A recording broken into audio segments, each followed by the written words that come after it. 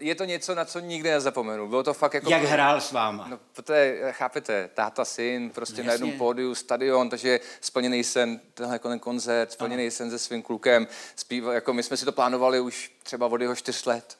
Fakt? No. A chcete, aby byl muzikant? On už teďka taky samozřejmě chce být muzikant. Právě, že ne. Nechce být, on chce ten být pilot, pilot. Teda, pořád ten pilot. Pilot. Aha. Jo, jo. Ale radši bych byl, aby byl muzikant, protože teď jsem koukal, kolik stojí ty letecké zkoušky. A zlatý bubny vám povím. Jo. No jo, tři koncerty v Edenu, to jste něco, našu... to jste něco našušnil, Marku, ne? No. Kluk chce lítat pro boha, tak ať lítá, ne? Ono se to říká, ale no nic, pojďme dál. Řeknu vám, já se bojím teda lítat, jo, to je taková otřepaná písnička, ale kdybych já někam letěl a řekli mě, že pilot se jmenuje Ztracený,